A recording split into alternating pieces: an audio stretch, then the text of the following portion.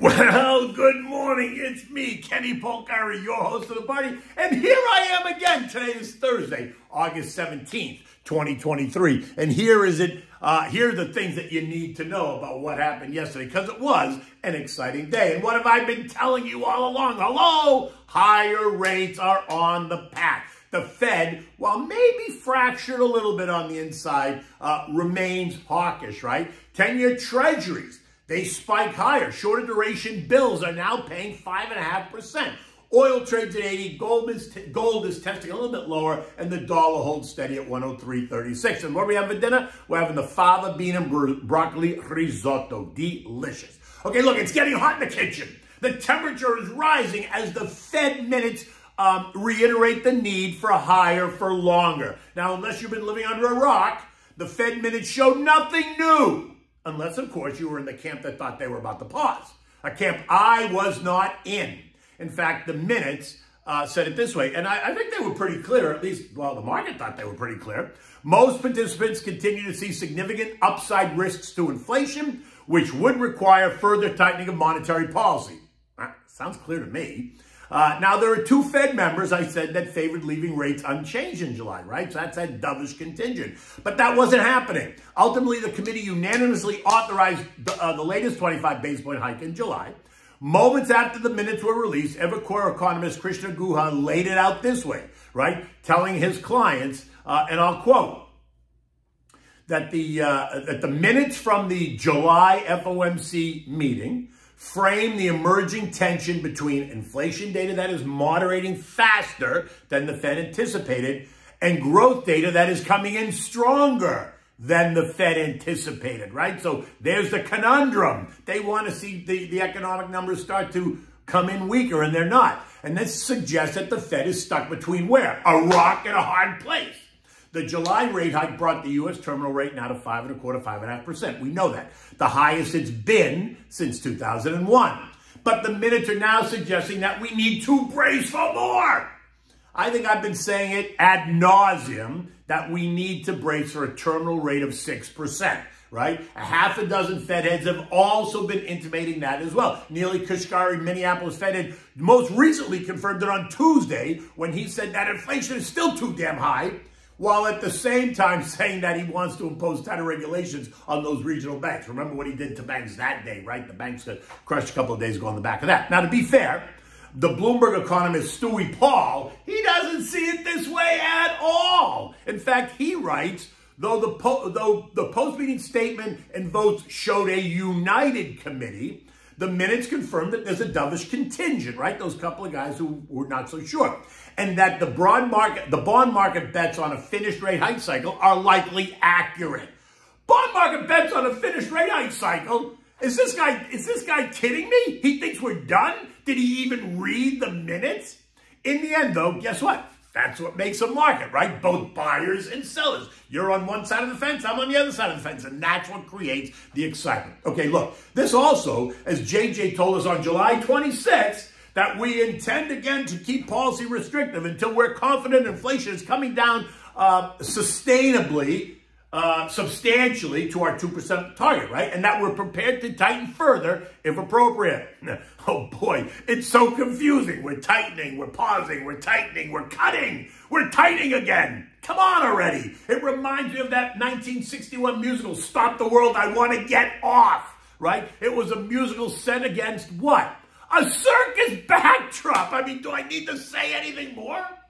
In any event, the algos did not like what they heard or what they read or what they scraped, whatever, and stocks which had been churning kind of in line all day headed south upon the release of those minutes. Right by the end of the day, the Dow was down 180 points, the S&P lost 34 points, the Nasdaq down 156, the Russell down 25, and the transports gave up 167 points. Now, just to be clear, that now puts the Dow down 2.5%, the S&P down 4.4%, the NASDAQ down 6.5%, the Russell down 6.5%, the transports down 5.5% since their most recent high three weeks ago. And this makes sense. We've been discussing it. The market action should not surprise you at all. Remember, anything less than 9.9% on the downside is considered well within the normal range of trading. So this is normal. There's no reason to light your hair on fire yet. And the Wall Street Journal makes it very clear. They run with this headline. Bond yields hit the highest since 2008, adding pressure to borrowing costs. Bets that interest rates will, uh, which which have failed to, which have suppressed the 10-year yields for the most of 2023, but analysts are warning that that may be changing. Treasury yields hit a 15-year high, and that suggests steeper borrowing costs, right? Higher rates. And that is what is raising the temperature in the kitchen, causing investors to consider the potential fallout for stocks. Think aggressive, sexy growth names like tech. Think utility stocks, think bonds, think housing. The 10-year yield ended the day yesterday at 4.258%, up from 4.22% on Tuesday, a rate that has not been seen since the collapse of Lehman Brothers on September 15, 2008. Now, that's just a reference point. I'm not suggesting any imminent danger, right? In the end, the 10-year is still below the current terminal rate set by the Fed. And what that means is that the 10-year yields could still rise. And if that happens, that will really turn the heat up in the kitchen, Gavish. Now, the 10-year yield has been moving up for four weeks now. Just uh, on July 18th, they were yielding 3.78%, right, versus yesterday. And that's being credited to ongoing solid economic data, suggesting that the elusive recession will remain elusive. Longer-term treasury yields are also getting a boost. Why? Because the government made it very clear that they need to borrow more money than anticipated to finance all the freewheeling spending by the Bidens and the far left Democrats. And all that means is that there's going to be more bond supply on the market, which takes us back to what? Econ 101, supply and demand.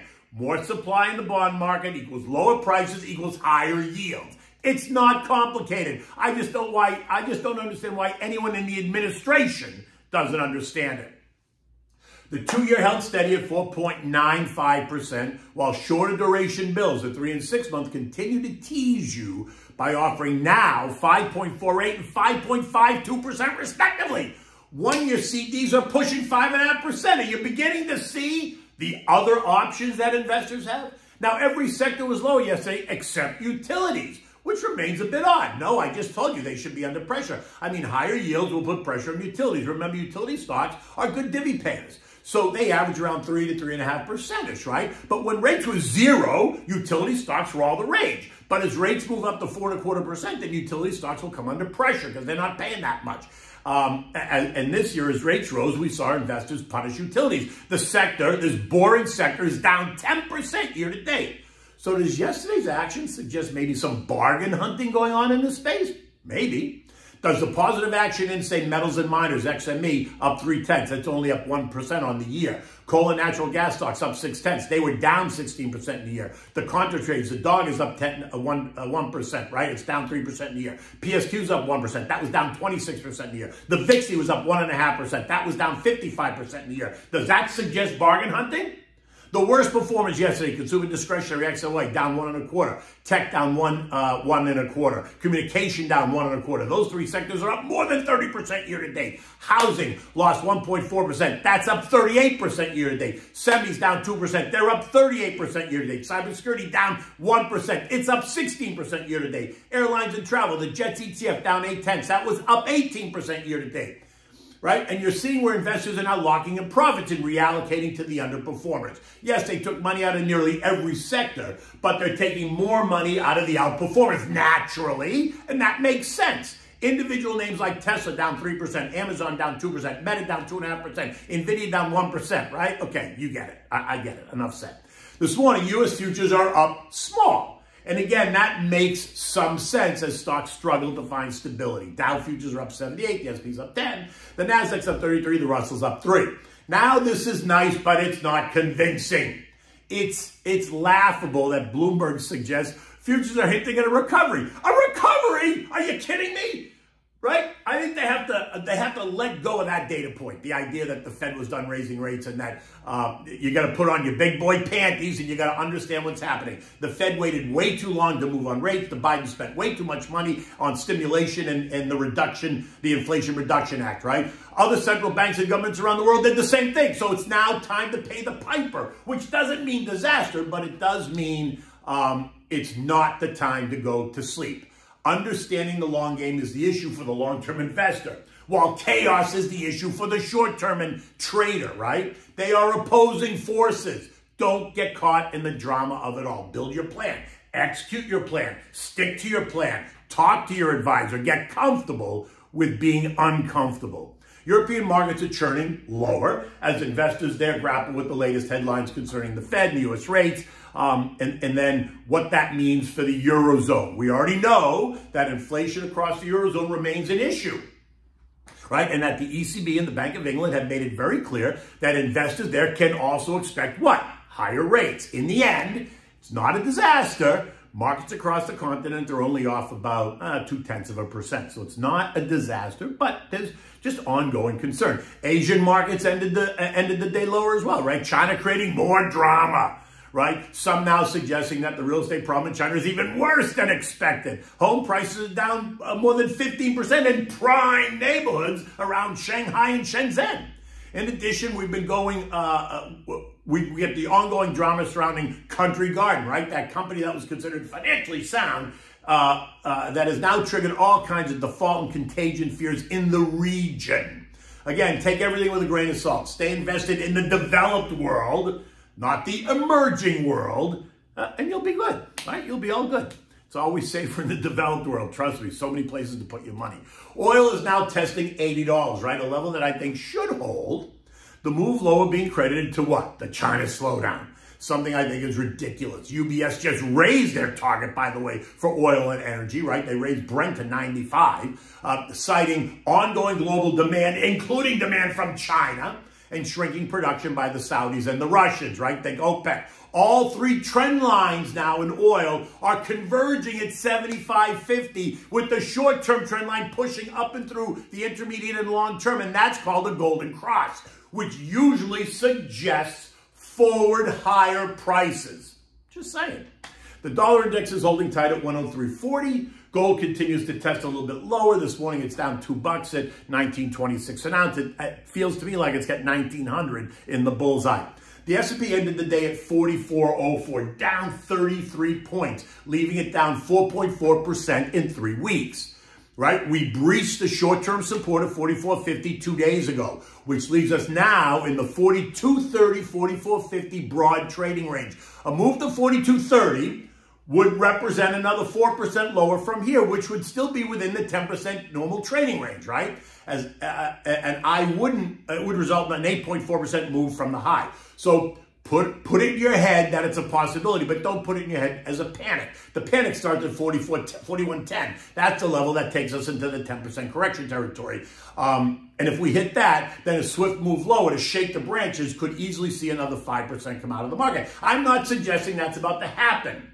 I'm just laying it out there for you to have a data point. It's always good to have these data points as a point of reference, right? Feel free to reach out and discuss. I'm always happy to engage or talk to your own advisor because I'm sure they are always happy to engage as well. Okay, so what do we have for dinner tonight? So this is another vegetarian dish because I keep getting requests for vegetarian dishes. So here you go. Broccoli and fava bean risotto. It's very delicious, right? And when you're making this vegetable risotto, you really could choose any vegetable that you like. Um, this way, it's always different. It's always exciting. Sometimes you can make the risotto to reflect the time of year. In the summer, it might be today's dish. Fall, it could be butternut squash or uh, or corn. In the winter, it might be um, uh, it might be a winter beet, right? The spring, you might come up with uh, uh, kind of a spring pea risotto, right? Either way, you get to be creative as you go along, depending on the time of year. Anyway, for this, you need broccoli florets, right, cut into small pieces. You need the stems separate. You also got to cut um, uh, cut them into small pieces. You need fava beans, salt and pepper, olive oil, chopped scallions, chopped shallot. You need arborio rice. You need um, a dry white wine. Pinot Grigio Santa Margherita works for me. You need vegetable stock, about seven cups. You need butter and fresh grated Parmigiana cheese or Grana Padano, one or the other, right? So you want to uh, steam the florets for about one minute. Remove them uh, remove, the, remove the stems until they're very tender, right? About four minutes, that's it. Keep the water. Don't toss the water away. Put the stems only in the food processor and process until smooth, right? You may have to add some water to make it a smooth mixture. Uh, scrape out the puree into a small bowl and set it aside. Leave the florets whole. Now, heat the olive oil in a heavy pan over medium heat. Add the scallions and the shallots. Saute until translucent. You know the deal, about five minutes. Now you're going to add the rice. Stir it to coat it in the uh, butter and olive oil. Continue to cook so that the rice becomes a little bit translucent. It's maybe two or three minutes, right? You just want to get it a little bit. Now, pour in the wine, right? Don't overdo it. You know, maybe like a half a cup. Stir it, let the wine evaporate. The alcohol will burn off. Now you're going to add a ladle of the hot vegetable stock. Uh, you're going to stir constantly until the stock has been absorbed right? This is what you have to do risotto. You have to stand there and mix it, right? You're going to continue to add one ladle of the hot stock, one at a time, just enough to moisten the risotto and stir it and cook it until uh, each successive uh, uh, batch is absorbed, right? After risotto's been cooked for about 15 minutes, you're going to add the broccoli puree and the fava beans. Stir to mix about three minutes. Uh, after that, stir in the broccoli florets, stirring constantly, adjusting the level of heat to medium low so that it's just simmering while adding, you, you continue to add the stock, right? Until the until the rice becomes creamy and delicious. Should only be about 20 to 25 minutes from when you first start, right? Um, now, remove the pot from the heat when it's creamy and delicious. Add now uh, some butter until it's melted. Mix it in there. Now add the grated cheese. Adjust the seasoning with salt if necessary, um, and you can add a little bit of pepper. You want to serve this immediately into ladle it into nice warm bowls. And if you have, if you keep some extra broccoli florets on the side, then just put a couple of broccoli florets on the top after you put it in the bowl. Make sure you always have extra cheese on the table for your guests and enjoy this naturally with a chilled bottle of the Pinot Grigio Santa Margherita the same one that you use to cook with at any event. Look, it's kind of a crummy day outside today, right? It looks a little bit overcast. Yes, it's humid. The doors are all wet. You can see that, but it doesn't really look like it's going to be a beautiful day here today. And I wonder if that speaks about what's going to happen in the markets. We're soon to find out. In any event, until tomorrow, take good care.